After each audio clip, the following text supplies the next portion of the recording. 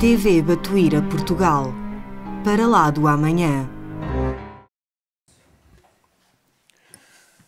O meu cumprimento a cada um dos nossos companheiros de ideal que neste sábado se encontram aqui para que nós possamos trocar algumas ideias a respeito de alguns assuntos que particularmente a mim tocam muito fundamente, porque haverão de falar de responsabilidades que são nossas, que temos nas mãos uma doutrina que nos empolga tanto, nos ensina tanto e que, portanto, também nos convida a agirmos de acordo com essa beleza que nos acaricia tanto os nossos corações.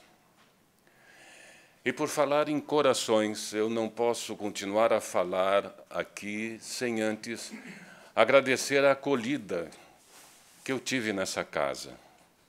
E agradeço nomeadamente fazendo referência ao nosso hoje enorme amigo Orlando e a nossa querida Rosário, que exagerou no que disse em razão desta amizade que nós já construímos durante esse período que aqui estivemos. Se houve alguma importância na apresentação que foi feita aqui, todos nós temos que concordar que é a doutrina que ilumina tudo o que se faz em referência a ela. Eh, assim colocada essa nossa posição obrigatória, eu não poderia deixar de me expressar dessa forma. Eu quero dizer sim que semana que vem, depois de uma longa e adorável permanência aqui em Portugal, eu retorno ao Batuíra, que hoje não é meu, hoje é nosso, porque hoje nós vivemos uh, a ligação de dois Batuíras, dois continentes unidos hoje, porque o laço da fraternidade, da cordialidade, do sentimento cristão que nos une, nos permite sentirmos lá ou cá em casa. Embora hoje eu esteja adorando dizer que eh, Portugal, por mais alguns dias, é a minha casa. Ao escolhermos o tema Parábola do Bom Samaritano, eh, nós escolhemos uma conexão ousada entre duas ideias importantes. Eh, e essas duas ideias, não me cabe explicitá-las aqui agora, para deixar aí um, algo de, de curioso que deve vir, mas são duas ideias que os tempos atuais estão a sugerir como agenda importante nas nossas vidas, como indivíduos, como espíritos, mas também na vida das instituições. Digo aqui claramente das instituições espíritas, mas não só das instituições espíritas, mas de todas as instituições que possam se ligar aos objetivos do bem, do amor, do carinho, do desenvolvimento das pessoas. Porque se nós fazemos isto e fazemos bem, também temos que reconhecer que outras instituições, com outros motivos, com outros enfoques, também conseguem cumprir o papel que lhes cabe. Evidentemente, não estamos falando da humanidade como um todo, porque sabemos que muita gente não está nem cá nem lá. Mas é em razão disto que se torna cada vez mais valiosa a reflexão que nós podemos fazer a respeito do que nos cabe. E é por isso que nós iniciamos aqui a nossa participação, hoje, falando da parábola do bom samaritano, trazendo ou buscando trazer desta parábola, que é conhecidamente uma das mais eh, relatadas, uma das mais utilizadas nas reflexões cristãs de uma forma geral, e nos ambientes espíritas de um jeito particular, mas iniciando, uh, fazendo referência a algumas uh, reflexões de especialistas em parábolas dentro da literatura especializada uh, do cristianismo e da história das religiões, que julgam ser esta parábola do bom samaritano muito mais do que na aparência parece ser, uma parábola popular, uma parábola com as ideias já muito colocadas e claras. Há, na verdade, nessa parábola do bom samaritano, eh, uma discussão de nível teológico. A parábola do bom samaritano eh, cabe, então, ela existe dentro desse contexto maior. Todos nós conhecemos a parábola a partir do momento em que alguém desce do, de Jerusalém em direção a Jericó. Mas essa parábola vem em razão de uma discussão que se abre entre Jesus, uma discussão no bom sentido, no sentido de discutir ideias, não é? Entre Jesus e entre um sacerdote, entre um doutor da lei. É neste ponto de vista que nós vamos passar agora a fazer as nossas eh, considerações. Eu disse a vocês que esta parábola se circunscreve em um contexto onde há um, uma conversa preliminar entre Jesus e o doutor da lei, e é em razão desta conversa que Jesus profere a parábola do bom samaritano. Na verdade, o que se conhece bem e popularmente dizendo é o texto da parábola mas essa parábola ganha em si só, eu admito com vocês que ela já tem um sentido em si mesma. Mas olhada sob o ponto de vista do contexto e da discussão teológica que faz ela surgir, para nós espíritas, nós vamos perceber luzes novas eh, nesse contexto. A parábola e aqui nós já vamos iniciando a apresentar também algumas coisas que nos interessam uh, para que vocês possam acompanhar. A parábola e seu contexto começam quando um doutor da lei pergunta a Jesus, e aqui eu trago uma síntese, que depois nós vamos abrir, mas apenas para a gente ter uma visão de conjunto. A parábola começa quando um doutor da lei quando Jesus se dirige a Jerusalém, lhe interrompe a marcha e lhe faz essa pergunta: O que preciso, ele perguntando, fazer para herdar a vida eterna? Bem, uh, Jesus diz: Que diz a lei? Como tu lês? É, vejam que Jesus não responde à indagação do sacerdote. Ele recoloca ao sacerdote a pergunta: o que diz a lei? O que diz a lei é algo que está escrito. E ele ainda diz: Eu não quero apenas saber o que diz a lei, eu quero saber como tu lês. Qual é a sua interpretação do que está escrito ali? E aí começa a, o sacerdote vai responder, e a resposta está ali: amarás também de forma reduzida, amarás, amarás a Deus e ao próximo. E Jesus, vejam bem, o sacerdote estava querendo questionar Jesus, e ele acabou sendo questionado por Jesus. Aí Jesus diz: Ok, não nessa linguagem. O ok é uma participação minha Espero que tenha ajudado a brilhantar o contexto. Jesus diria: Ok, você está mostrando que você sabe. Agora faz isso. O sacerdote que tinha vindo para criar dificuldades, para testar Jesus, na verdade era isso que eles queriam, ele acaba sendo colocado numa situação de: ok, se você sabe, faça isso. E aí inicia-se uma segunda parte nesse diálogo. Como é que eu posso Resumindo ainda, como é que eu posso, estava na cabeça do sacerdote, como é que eu posso amar ao meu próximo? Porque amar a Deus eu julgava ele, eu não tenho muitos problemas com isso. Julgava ele. Mas o próximo, e quem é o meu próximo? Outra pergunta que o sacerdote faz, mas é outra pergunta que Jesus não responde. E há razões para isto. Razões que nós hoje podemos compreender como espíritos imortais. Porque não adianta você ter as boas respostas se essas respostas não saem de dentro de você. Por isso Jesus dizia: E como é que você pensa a respeito? Até que ponto? Ó oh, vós que sois espíritos imortais, em que local da evolução você está? Qual é a sua capacidade de compreender?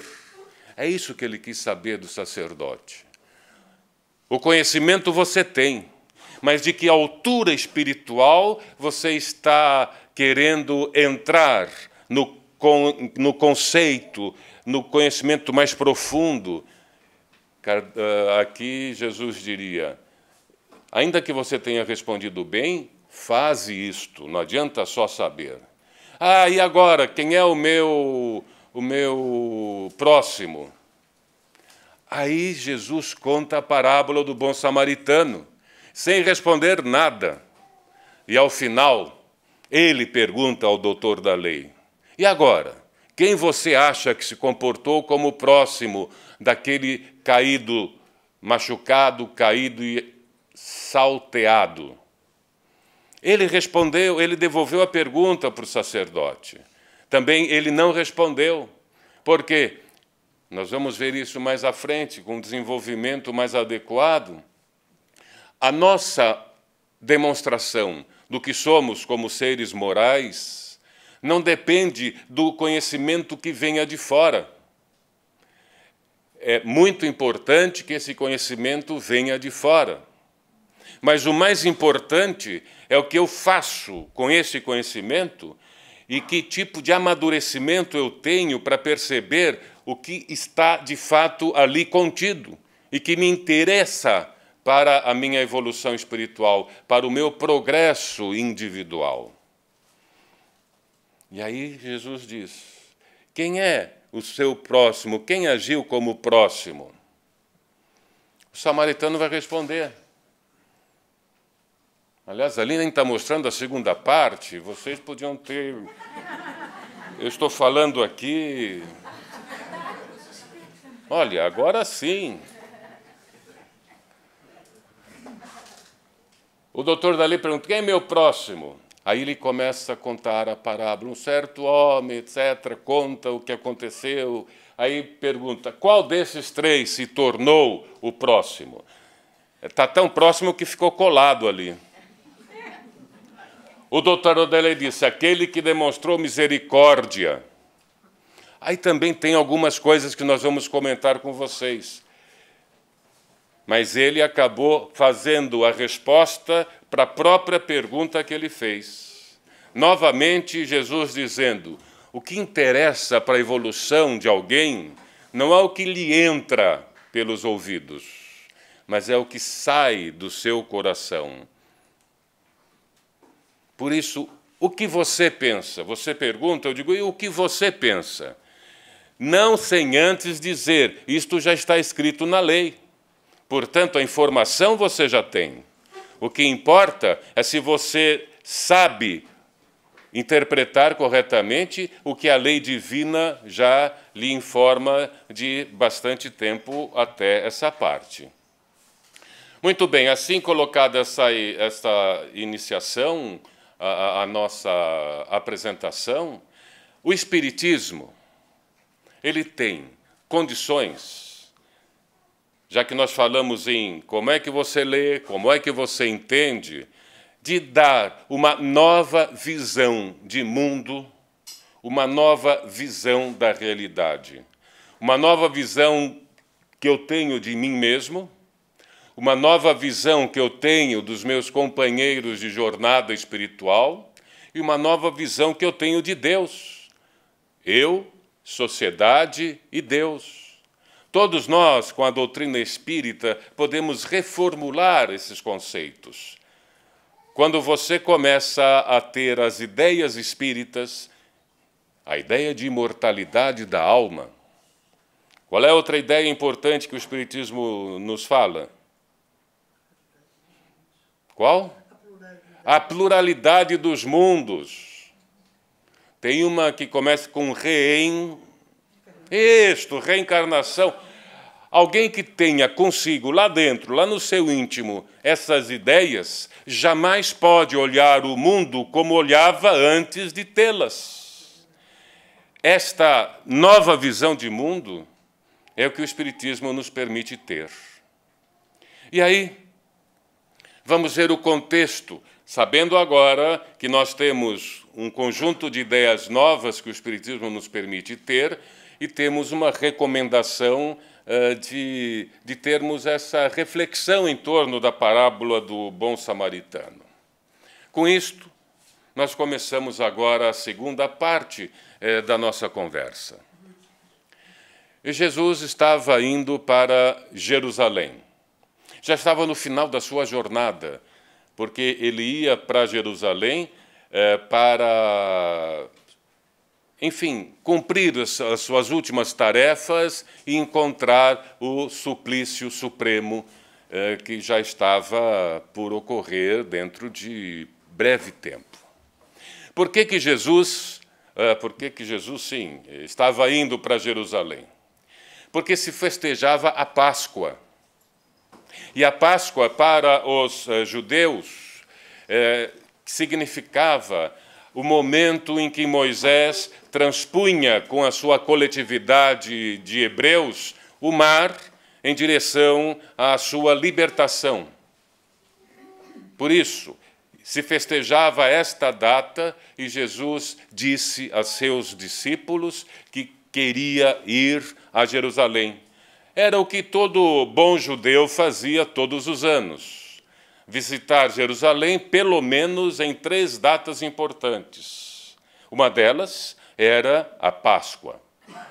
Portanto, quando Jesus se dirigia para Jerusalém, eh, ele não tinha ainda a, a ideia, porque essa foi criada, vocês vão entender depois dele, de que hoje, para nós cristãos, a Páscoa, eh, cada um da sua forma, claro, quer dizer a, o retorno, a ressurreição eh, de Jesus. Evidentemente, nós espíritas temos a nossa leitura a respeito desse assunto, mas quando se fala hoje em Páscoa entre os cristãos, é da ressurreição que se fala, enquanto se fala em Páscoa, o Pessar dos judeus, se refere à, à possibilidade da fuga não é, dos hebreus em direção a Canaã. Bom, era essa a festa e, e Jesus estava caminhando para Jerusalém. Ok. Ao aproximar-se de Jerusalém, alguns dizem chegando já em Jerusalém, eh, mas não vamos definir o momento exato. No trajeto, é Lucas quem conta essa parábola, e apenas Lucas faz essa referência ao Evangelho, no seu Evangelho. Quando Jesus chega próximo a Jerusalém, ele se depara com esse doutor da lei. Esse doutor da lei uh, está numa posição sentada, isso é importante, quando eles se encontram, e o doutor da lei se levanta para falar com Jesus. Bom, esta é uma demonstração de respeito muito grande. Talvez não concordasse, mas respeitava. Já estava a saber ele que se tratava de uma autoridade não é, intelectual e moral. Ele se levanta para falar a Jesus e o chama de mestre. Mestre. E aí faz a sua primeira pergunta: Que fazer para herdar a vida eterna? Aqui também os especialistas, às vezes, eh, com tonalidades diferentes, divergem um pouco das intenções desse sacerdote. Alguns dizem que ele estava interessado em saber de fato como Jesus pensava a esse respeito. Outros eh, dizem que o que ele estava querendo mesmo era testar. Aliás, esse é o texto de Lucas, querendo testar Jesus, eh, trazendo algumas ciladas sobre eh, interpretações que poderiam ser diferentes e poderiam colocar Jesus numa situação delicada perante o templo e perante os judeus da sua época, do seu tempo. Então, essa pergunta, como eu, o que eu devo fazer para herdar a vida eterna, havia duas respostas possíveis. Provavelmente era este o tipo de cilada que o doutor da lei estava armando para mostrar que Jesus não pensava como a maioria ou Jesus pensava como os, o, o pessoal do Velho Testamento. O que estava em jogo em termos de análise uh, de visão de mundo é que os judeus do tempo do Velho, Velhíssimo Testamento acreditavam eh, que ganhar, não é, o resultado que eh, um judeu poderia ter era ganhar a terra, ganhar a terra fisicamente, o seu território. E que por isso herdar a terra eh, santa era ter um território para morar. Depois de algum tempo, depois de muito tempo, quase já contemporâneo a Jesus, houve uma alteração nessa maneira de viver porque todos que podiam herdar a terra tinham morrido, então onde está a saída?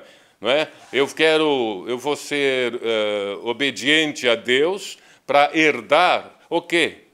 Eh, eu, as pessoas morreram, que terra é esta? Então isto começou a se perceber e foi essa a, no, a novidade teológica dos tempos próximos a Jesus que o que se herdaria não era a terra fisicamente, não era o território eh, de Israel, mas sim o direito a uma vida futura. E era disto que eh, os rabinos começaram a falar. Então, quando o sacerdote pergunta a Jesus o que ele deve fazer, ele está esperando duas respostas possíveis, para depois implicar com a resposta que viesse. Você não precisa fazer nada. Por quê? É porque uh, o presente é uma graça de Deus. Ele vai dar a terra para você simplesmente porque você é judeu. Você não precisa fazer nada. É, depois isso vem no próprio cristianismo como o aspecto da graça divina, não é? Você vai ser salvo pela graça de Deus. Você não precisa ser bom, não precisa ser nada, porque se no final da vida você se arrepende, você cai na graça de Deus e é salvo. Bom, essa era uma possibilidade. Responder que eu não preciso fazer nada, porque Deus me dá a terra santa eh, sem querer nada, é só porque Ele me ama. E a segunda possibilidade é eu vou ter eh, resultados positivos na minha vida futura porque eu cumpro a lei divina. Era assim que começava a se pensar. E aí, com esta pergunta feita pelo sacerdote, Jesus não responde. Ele quer extrair do sacerdote a resposta possível que ele possa dar. Aí vem a pergunta que Jesus lhe coloca: o que está escrito nas leis. Como tu lês? É claro que nós temos um, um aprendizado limitado ao Velho Testamento. De fato, se você é doutor da lei, você sabe qual é a resposta. Portanto, eu quero saber como o que está escrito e como tu lês, como tu interpretas. Mas se nós colocarmos aí uma colherada de espiritismo para perceber neste diálogo de gerações, nesse diálogo de comandos culturais, sacerdote falando de uma cultura, Jesus falando da cultura nova que ele vinha implantar, trazer. E agora renovada ainda pela doutrina espírita. Nós temos aqui o que ele pergunta: o que está escrito? É na linguagem do conhecimento. E depois, como tu lês. Como nós já fizemos aquela breve introdução, nós já temos um pouco o panorama do que isso pode significar para nós espíritas. Como tu lês, quer dizer, qual é a interpretação que você faz? Você pode interpretar diferente de mim? Pode. Por quê? Porque você tem má vontade? Eh, também. Mas talvez você tenha uma visão espiritual que ainda não se desenvolveu e você joga com os recursos que tem.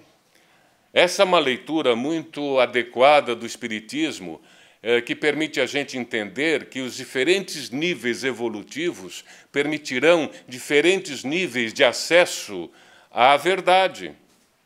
Não é que todos estão certos, mas todos estão olhando da sua altura espiritual. Isto pode não ter sempre a mesma possibilidade de compreensão e de entendimento. Isto nos permite entender porque nós temos que olhar com tolerância aquele que não pensa exatamente como eu. Porque essa tolerância é fundamental.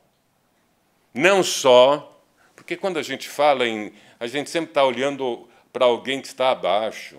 Ah, eu tenho que tolerar as pessoas que. Não, nós temos pessoas que estão acima, que pensam mais e melhor. E nós não toleramos quem é melhor. É um outro tipo de sentimento. É um outro tipo de sentimento. Quando você pode aprender com quem pensa melhor, você às vezes sente uma inveja que te eh, afasta de quem pode até ser importante para você. Então, quando a gente fala eh, nessa situação, é você olhar para quem tem menos, menos qualquer coisa, menos recursos financeiros, é o que mais aparece quando a gente fala assim, mas um conhecimento menor, menor felicidade na vida. Quando você encontra alguém assim, ao invés de tentar olhá-lo de maneira acusatória, você não tem porque você não fez por merecer. Você não tem recursos porque você não gosta eh, de trabalhar. A gente não sabe as dificuldades que essas pessoas têm. Olhar com tolerância para quem tem menos. E olhar com satisfação por você poder ter pessoas diferentes também, por terem mais, mais conhecimento o importante é que todas essas coisas sejam utilizadas de maneira adequada.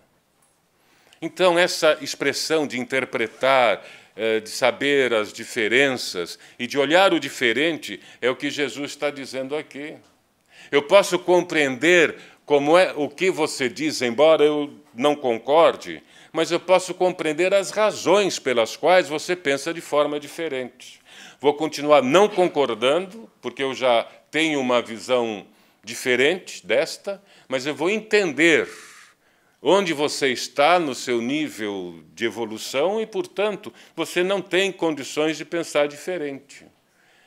Nós somos iguais, espíritos imortais e, portanto, iguais em diferentes posições evolutivas. Portanto, essa tolerância é o que Jesus também quer como resultado dessa parábola que ele começa a, a enfrentar. De fato, o que está escrito nas leis, nas tábuas, são dez leis, os dez mandamentos. Mas se você vai ler o Velho Testamento, além dessas, desses dez mandamentos, eu diria macros, você tem mais outros 600 mandamentos Impossível cumprir tantos mandamentos assim. Impossível. Aí eles começaram, claro, fizeram isto com razão. Não é preciso dar contas dos 600 mandamentos, porque os 10 já resumem bem todos os 600. Bom, mas 10 não dá para ser menos? Dá. Dá. Os, os dez mandamentos, eles se resumem em dois grupos. Dez mandamentos referindo-se, alguns, a como eu tenho que me portar perante Deus, e outros, como é que eu devo me portar perante o próximo. Aí disseram, não, então só dois mandamentos dão conta disso. Amar a Deus, nas condições que nós vamos ver, com toda a sua alma, com toda a sua sua força, não é isso? Amar a Deus e amar ao próximo. Estes, esses dois mandamentos resumem o que se pretende como uh, objetivo para alcançar a salvação. Salvação entendida por nós como melhores condições da nossa própria evolução individual. Ora, foi exatamente isso que o sacerdote respondeu. E aqui de forma completa: Amarás o Senhor teu Deus de todo o seu coração, de toda a sua alma e de toda a sua força. Mas falta outra parte. Esta, esta, esse mandamento está em Deuteronômios. Então o sacerdote foi buscar lá atrás e a outra vem do Levítico, dois textos do Antigo Testamento: amar a Deus e amar ao próximo. Bem, aí vem Jesus e diz a ele: é, respondeste bem. Não se esperava, isto é uma intervenção minha. Não se esperava que o doutor da lei respondesse de forma diferente. Dez. Mas falta outra parte. Ele diz: Respondeste bem, agora faze isto e viverás. Fazer isto e viver, o que quer dizer? Amar a Deus sobre todas as coisas, de toda a alma, é isso que nós vamos examinar agora, de uma maneira bastante rápida, porque isto foi dito há dois mil anos, eu não tenho esse tempo todo para falar a vocês. Então tem que ser uma forma rápida. Amar a Deus vai surgir ali agora, amar a Deus de todo o seu coração. Na linguagem da época, o sentimento e a inteligência se localizavam no coração. Então, amar a Deus de todo o coração, primeiro, é amar a Deus de forma consciente, inteligente, racional, de forma quadradinha, assim, no, no aspecto de que não existe nenhuma uh, ideia estranha nisso, e de todo sentimento. Mas não é isso que é amar de todo o coração. O fato é que as nossas decisões, às vezes, são certas, às vezes são erradas, às vezes são para o bem, às vezes não. Os nossos sentimentos Vamos pensar em alguns que a gente tenha tido nas últimas 24 horas. Não precisa encorar, não. É, é assim que acontece. Puxa, foi tudo isso? Foi. Porque os nossos sentimentos não são somente sentimentos bons. Quando Jesus disse amar a Deus de todo o coração, é colocar todo o coração, todos, ah, toda a sua inteligência e todos os seus sentimentos a favor do bem não permitir mais as suas disputas internas de ter bons pensamentos e maus pensamentos. De cada um no que puder fazer de melhor, óbvio. Mas a ideia central é essa: de todo o coração é entregar o coração pleno, sua inteligência e suas emoções, os seus sentimentos, no caminho de encontro a Deus. Mas, além disso, amar a Deus de toda a sua alma. Aqui também nós precisamos entender o que isso queria significar na época. Quando o dia amanhece chuvoso, você acorda animado ou desanimado? A verdade, por favor. Se você vende guarda-chuvas, você acorda animado, dizendo hoje é um grande dia. Mas se não, você tem algumas razões. O que isso quer dizer? Ânima, em grego, é alma. Ter ânimo é ter força. Ter ânimo é ter vontade, é ter garra. E não ter ânima é ficar mais dez minutos. Que não é de todo mal. Eu, o exemplo não ajudou muito. Eu já arrumei alguns adversários aqui. Não é. Então, quando se fala de toda a sua alma, é dizer, ok, não basta usar a inteligência e o sentimento. Você precisa ter ânimo, disposição para fazer as coisas de acordo com este amor a Deus que você começou a ter. Então, amar a Deus de toda a sua alma e com toda a disposição de fazer tudo o que você fizer dentro desse contexto de amar a Deus. E depois, com todas as suas forças. Ora, mas força não é ânima, não é ânimo, aqui agora não. Ânima é ânima, não é? Quando eu digo ânima é ter força, eu estou usando a linguagem de hoje. Porque naquele tempo, força é a capacidade. Capacidade de, de recursos. O que a vida te deu? Ora, a vida te deu recursos X, Y, Z. Você tem que amar a Deus de todo o seu entendimento, de toda a sua inteligência, querendo fazer tudo o que puder, mas também colocar todos os seus recursos, todas as suas forças, todas as suas capacidades a favor desse amor que você sente por Deus. Esta é a resposta quando se fala em amar a Deus sobre todas as coisas. E o sacerdote disse: Ok, isto eu sei. Ok, sabes, então faze. Bom, o sacerdote julga não ter problemas em amar a Deus.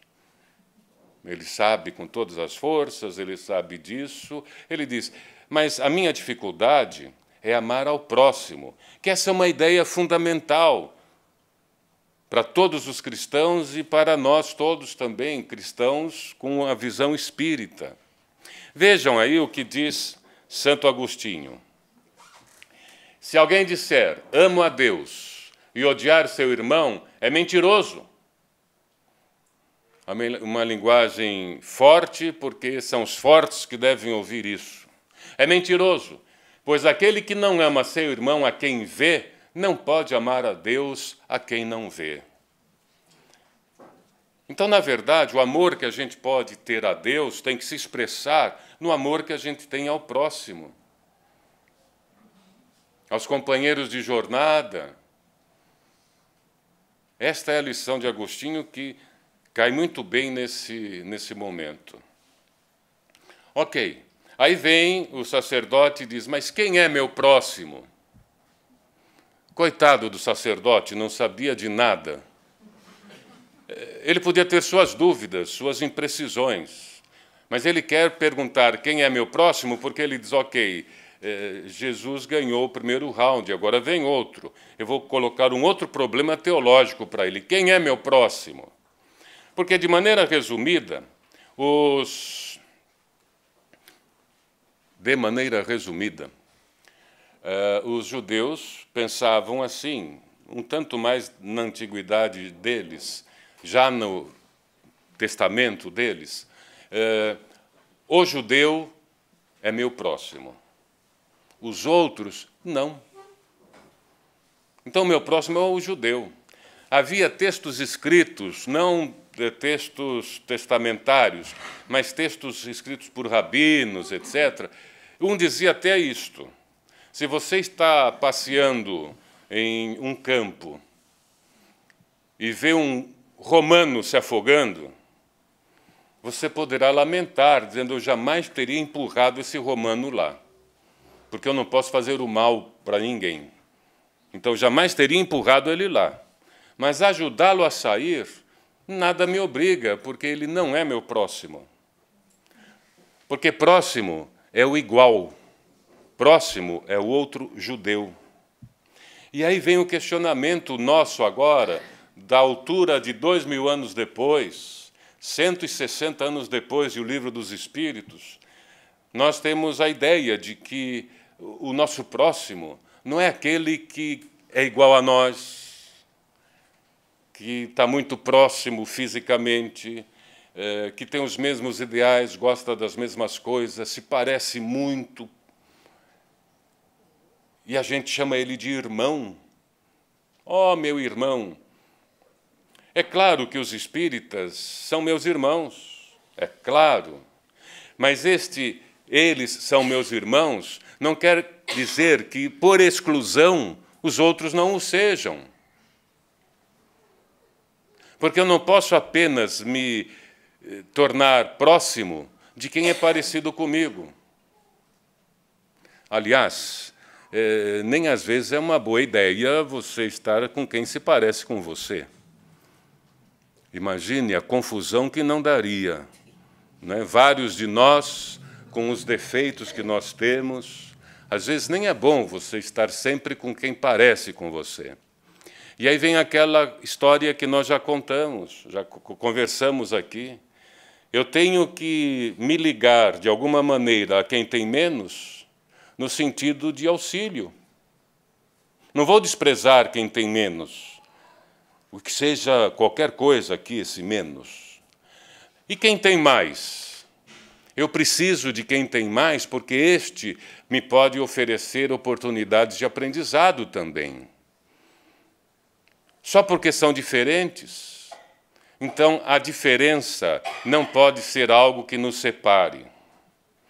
Aqui em Lisboa, nós temos os de camisola vermelha e camisola verde. Tem preferências diferentes? Tem. E não podem se dar bem? Não, claro que podem.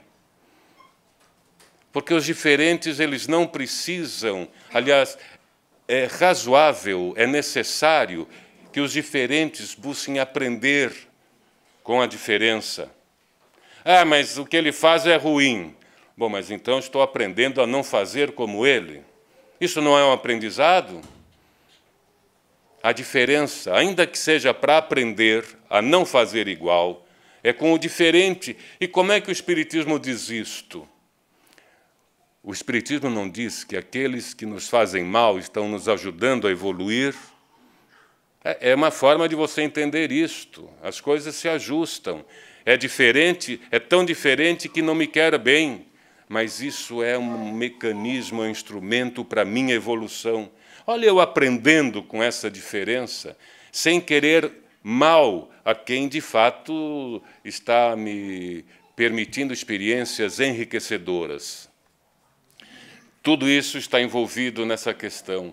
Separação entre pessoas que não precisam viver de forma separada, às vezes querendo dar demonstrações de afeto, mas esse muro não permite. Então, quando se pergunta quem é o próximo, o próximo não passa pela questão de se pensar em diferenças, em eh, desigualdades. E então aí vem a parábola do bom samaritano. Um homem descia de Jericó, ele foi assaltado. Aí nós temos o texto descritivo, mas vamos abordá-lo de forma mais dinâmica. Ele foi assaltado, machucaram muito a ele, lhe despojaram das vestes, e ele ficou ao chão. Aí passa o sacerdote. O sacerdote olha para o cidadão sente a necessidade de ajudá-lo, mas diz assim: Eu não sei se ele é meu próximo. Como é que você sabe quem é seu próximo? Pelo menos por alguns sinais exteriores.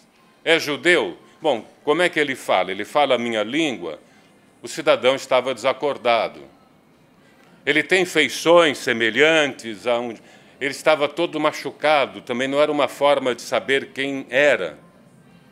E a vestimenta? Eh, tinham levado as suas roupas, inclusive. É proposital essa figura para dizer que ali estava um cidadão do universo, qualquer um de nós. E aí vem a história uh, do, do, do sacerdote, que por receios não se aproxima. Primeiro, pelo preconceito. Isso vai estar aqui mencionado. Indiferença, falta de carinho, mas também a questão do preconceito, de não ser próximo, eu não sei quem é, como é que eu vou ajudar, e também por questões de regras rituais. Complicava a situação do sacerdote, é, porque havia uma prescrição na legislação do templo que dizia um sacerdote é, ele tem que viver puro. E são rituais muito difíceis que se devem cumprir até chegar ao estado de pureza ritual para o sacerdote poder celebrar reuniões no templo. E aí dizia: se um sacerdote é, se aproxima, toca qualquer coisa que esteja morta, ele entra num estado de impureza. E o sacerdote começa a racionalizar, diz: Eu não sei se ele está morto, não posso ver porque se eu tocá-lo eu me torno impuro. Eu não sei se ele é meu próximo, eu não sei nada dele, eu vou passar reto.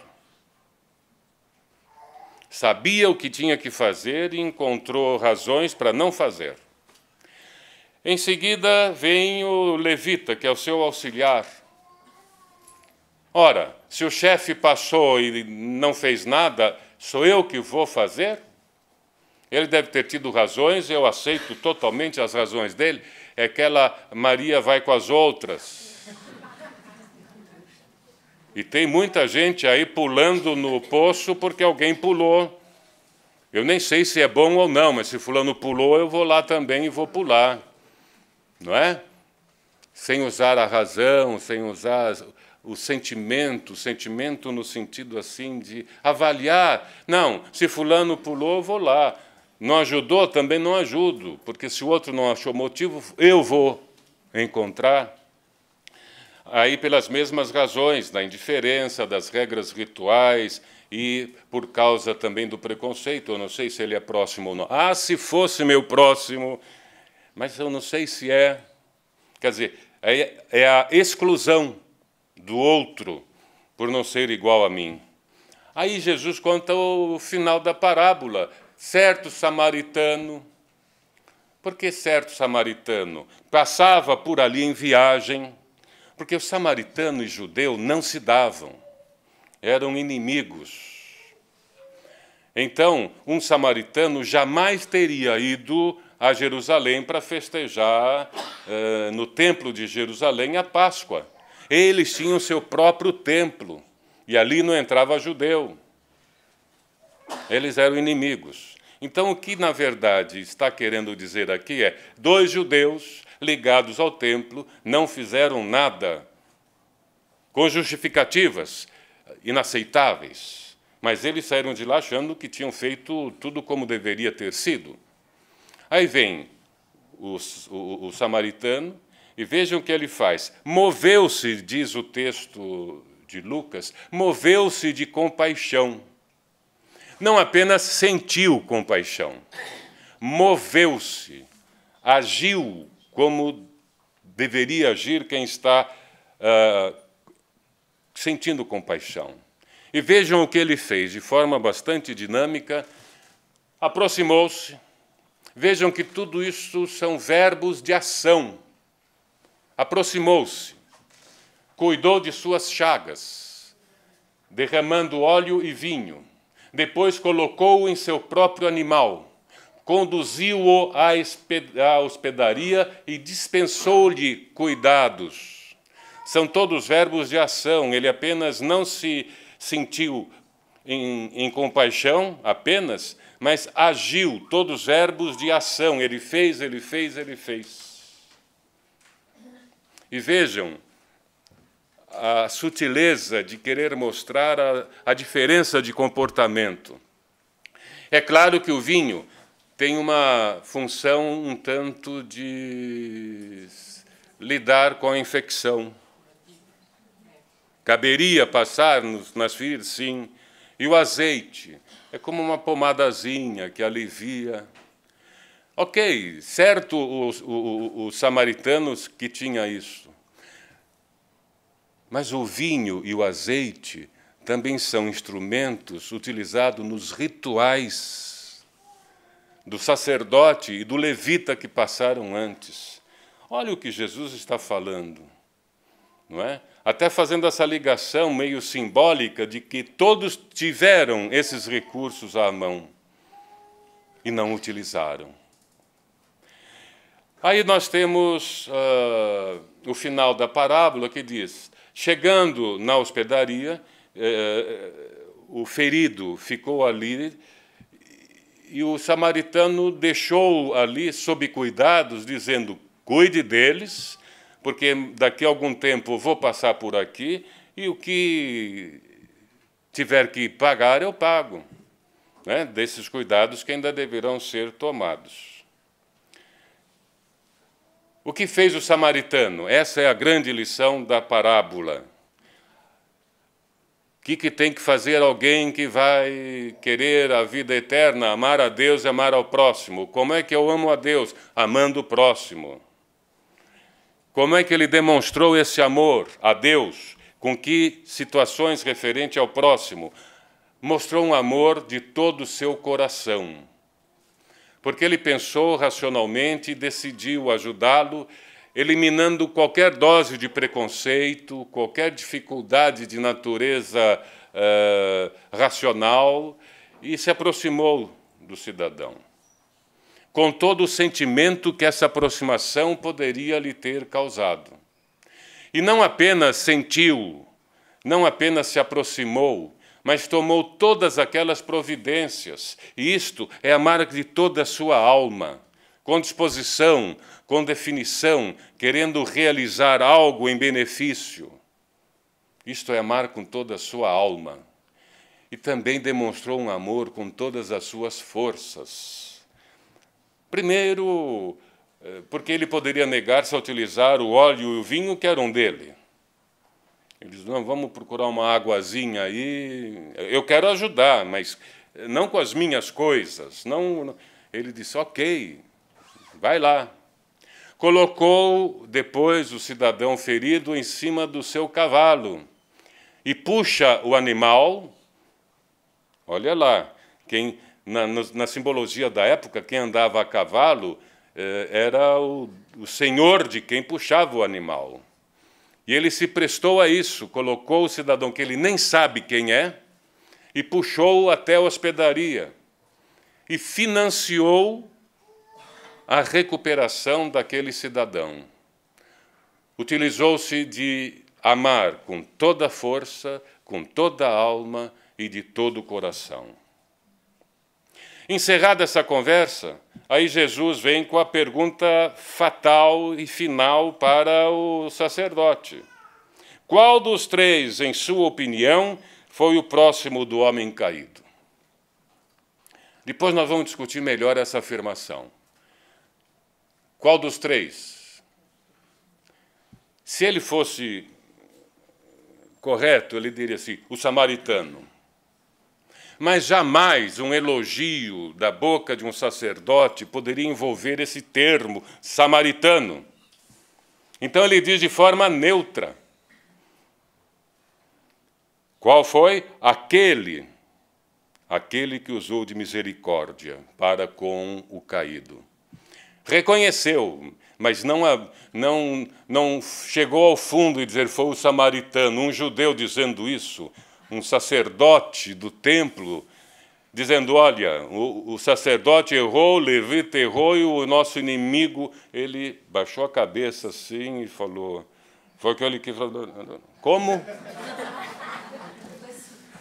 Não é? É a dureza das pessoas, né? com todas as orientações. E aí vem a resposta final de Jesus: Vai e também tu faze o mesmo em comportamento, se torne um samaritano. É isto que Jesus estava dizendo para ele. E esta foi uh, a grande lição, não é? Porque envolve todo um anterior debate teológico sobre quem é o próximo, uh, o que eu tenho que fazer, eu tenho que seguir as leis, eu tenho é, é pela graça divina, é, é porque Israel é nossa, é porque eu cumpro a lei. E essa questão de cumprir a lei e de eh, ler a lei tem muito a ver com duas coisas importantíssimas do Espiritismo. E tem muita coisa a ver com esse período de transição pelo qual nós estamos passando, porque essa resposta, a, a, a, a, resposta não, a pergunta que o sacerdote fez, o que eu devo para conquistar a vida eterna, deve ser aquilo que está na cabeça de todos nós quando nós pensamos no mundo de regeneração, na transição planetária com intenções diferentes ao do sacerdote, mas a pergunta é a mesma. O que nós, ou falando individualmente, o que eu tenho que fazer, não para ganhar a vida eterna, porque não é isto que está em jogo, mas para cooperar eh, para a realidade do mundo de regeneração, que para nós não é a vida eterna, mas é chegar um pouco melhor para falar sobre esse assunto mais tarde. Então, o que cada um de nós deve fazer? As respostas dadas ao sacerdote são respostas para nós mesmos. Essas coisas estão, e nós sabemos, o sacerdote também sabia, e que não seja necessário, e às vezes é, nós temos que ouvir: fazes tu então. Tomara que nós já tenhamos nos ocupado de fazer algo nessa direção. Portanto, refletir sobre esse mundo de transição, respaldado nessa visão, nesse conhecimento, é, é muito interessante para nós. E mais do que isso, quando, quando Jesus perguntava ao eh, sacerdote eh, o que está escrito na lei, ele está perguntando para nós também, não é? que conhecimentos vocês têm? Ou aí você diz assim, bom, é, para eu construir um futuro ideal de natureza espiritual, eu devo cumprir a lei divina. E onde está a lei divina? Aí a lição do livro dos Espíritas, na questão 621, diz: a lei divina está gravada na sua consciência. Ok, ela está na minha consciência desde o momento da minha criação como espírito. E o que eu devo fazer? Bom, isso está a nível de princípios. Eu tenho que desenvolver, é isso que nós estamos fazendo. Não é? Alguns amam, porque o princípio do amor está ali, mas alguns amam de forma tão equivocada que o sentimento de amor vira ódio.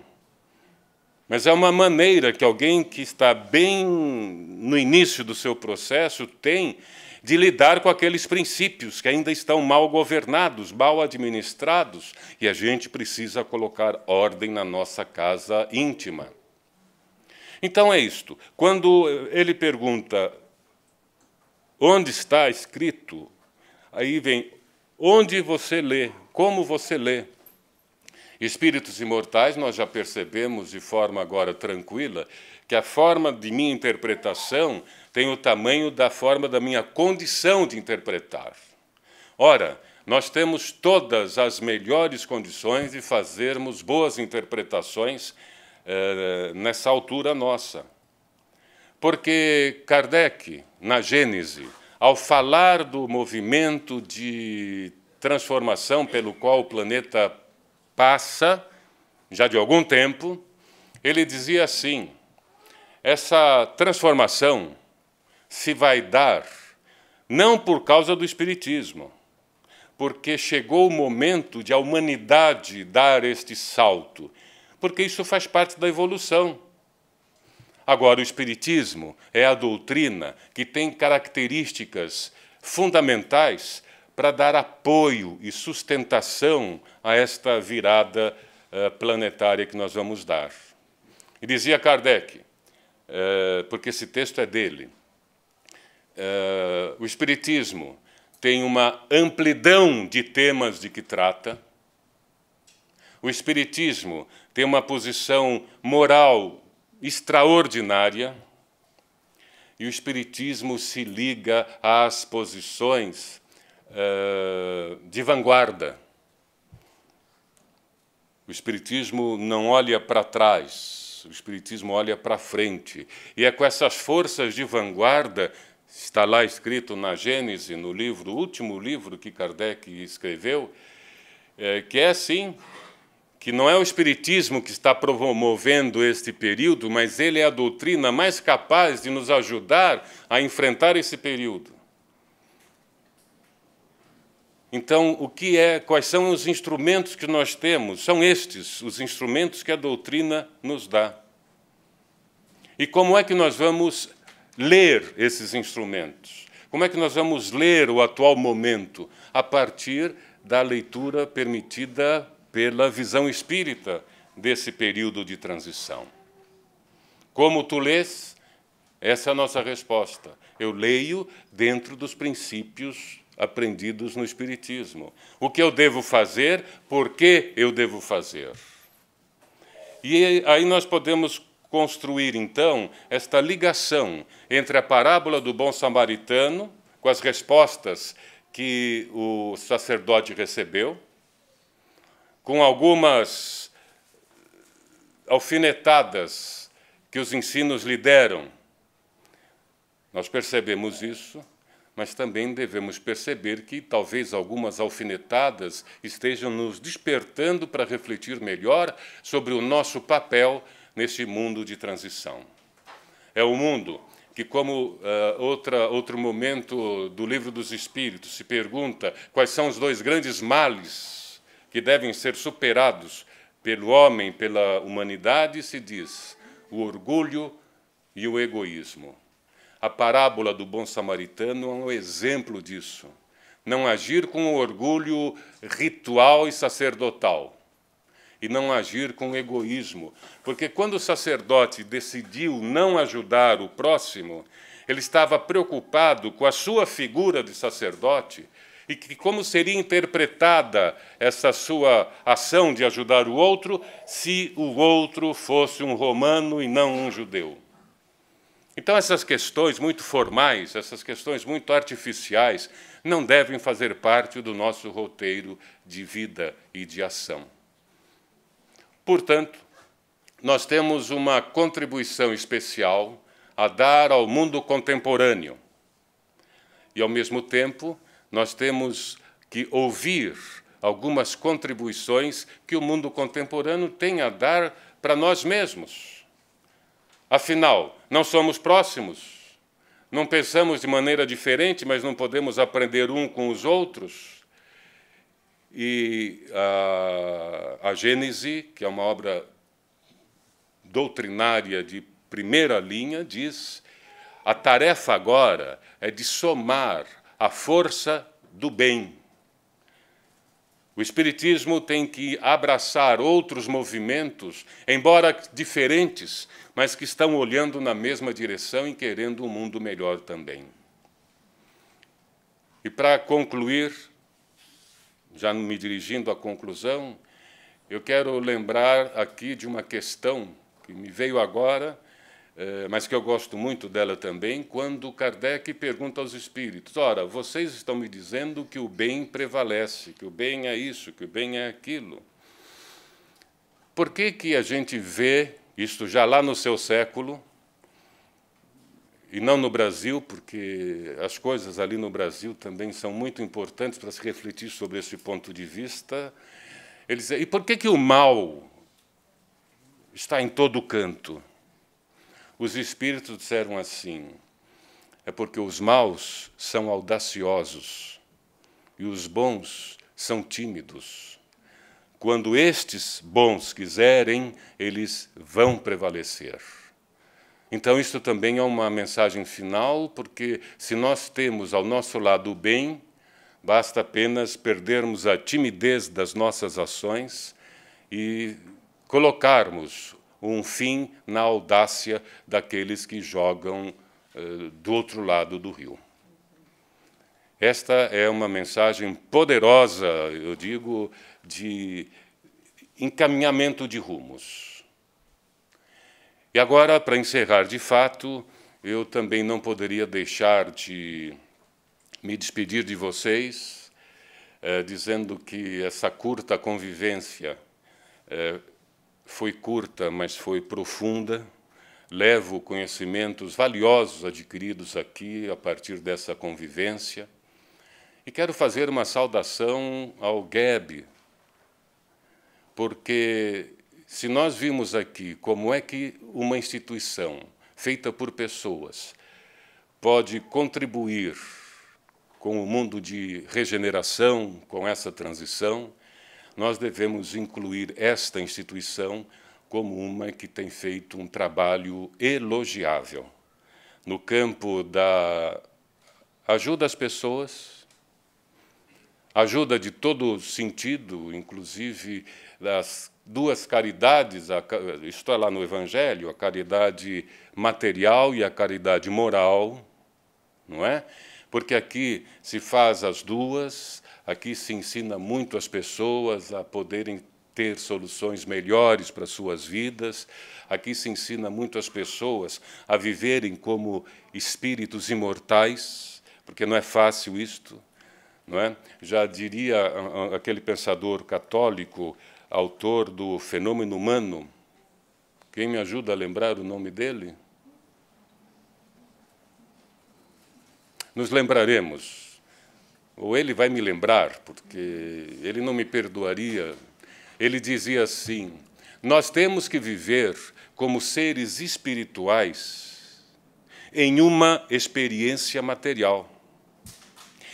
Porque nós mesmos, que achamos que seja natural assim, às vezes estamos nos pensando como seres materiais, com alguma possibilidade de experiências espirituais.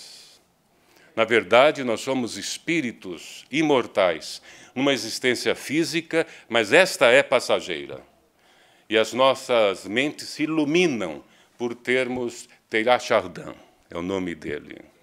É, eu me lembrei não é, ah, disseram, não, comigo não tem.